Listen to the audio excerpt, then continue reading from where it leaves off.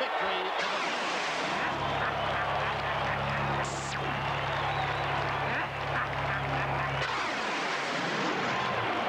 Indeed, they can laugh because Essendon have hammered Geelong in this qualifying final. 24 goals, 13, a total of 157.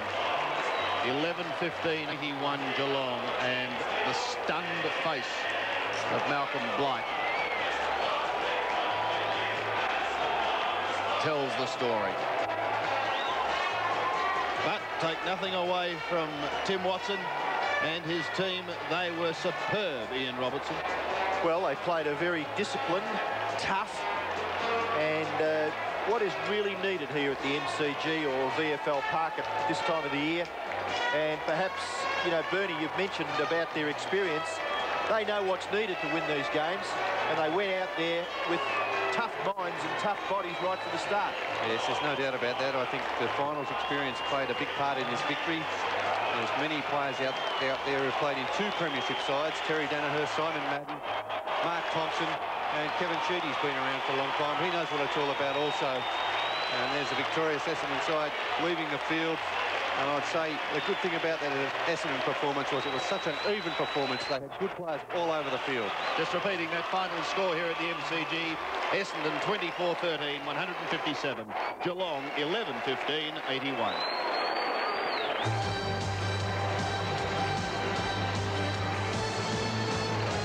Long kicking their lowest score for the year. Essendon 24-13, 157.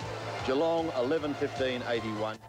Really only one person can have a smile on his face up here, Bernie Quinlan, because, well, he was the only one in the team that picked them. Well, it is good to see that one of the Channel 7 commentary team knows something about the game, Sandy, but uh, the oh, Essendon... Come on, great. well, I saw them last week, and I must admit that I was very impressed. I would have gone for Geelong, for Geelong today had I not seen Essendon last week, and they put up a tremendous performance last week.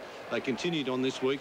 They've got great finals players, finals experience all over the ground, and that's very necessary when it comes up into the finals this time of the year, Ian. Yeah, I think you mentioned something, uh, Bernie, about pace, and, and they've got probably half a dozen really quick players that have just slowly been brought into this side, like Bewick and Michael Long, uh, in, two in particular. And uh, looking at the statistics, I mean, it was just so one-sided, wasn't it? The marks that Essendon took 71 to 29. I mean, Malcolm Blight has to read into that. And the possessions from kicks and handballs so one-sided as well. All right, gentlemen, thank you for that. We shall take a break. And it is not a pretty sight with some gusty winds and heavy rain and that Essendon supporter is happy, but won't like the rain too much.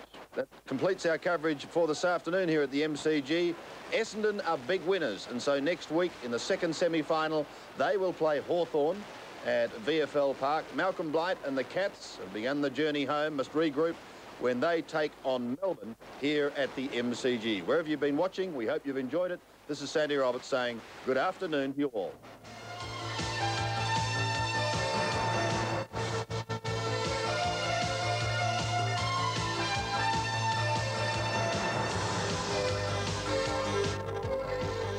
Skippy decides he wants to join the army tonight on Family Ties, a big hour of comedy from 6.30. Stay tuned to 6 now for comedy on Newhart.